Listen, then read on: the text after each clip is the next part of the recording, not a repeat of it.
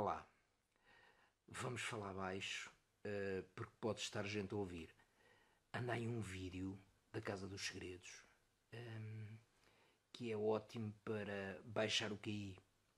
Imaginemos que vocês acordam e estão-se a sentir: é pá, estou muito, estou bem inteligente hoje, estou mesmo a tirar lá para cima. Vem isto e acalma um bocado. Joana, qual é a capital da Geórgia? A capital da Geórgia. Calma, que ela vai responder que é ali no Cáucaso, faz fronteira com a Rússia, com o Azerbaijão. Ela vai responder. Hamburgo. Ah! Hamburgo. Hamburgo. A certeza? É N. Calma, calma que ela vai chamar reforços. Aliás, quando eles não sabem qualquer coisa na Casa dos Segredos, chamam esse grande mito da cultura geral que é. Kátia. O que é que é? É fácil. É, sim. Onde é que fica a Geórgia?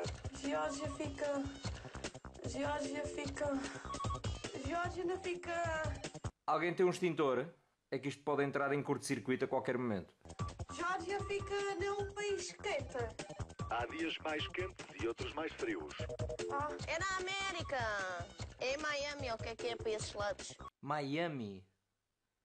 Estas miúdas estão ligadas à Wikipédia. Cristiana, fale-me de Chernobyl. então deve ser eh, o que inventou o ambiente. Inventou o ambiente. Eu nem sei quem é o homem. Chernobyl foi onde aconteceu eh, um acidente nuclear que provocou a destruição completa da, da central nuclear e da cidade. Então, então, então mas que é este indivíduo? Ele sabe as respostas, não pode estar na Casa dos Segredos. Qual é o continente com mais população mundial? Epá, tão fácil, para esta nem a Wikipédia consegue errar. O continente com mais população é... É os Açores. Portanto, é o continente dos Açores, é isso? Não, porque há o continental e o outro. O outro. Que é o, o dos arquipélagos das ilhas. Os Açores têm sete.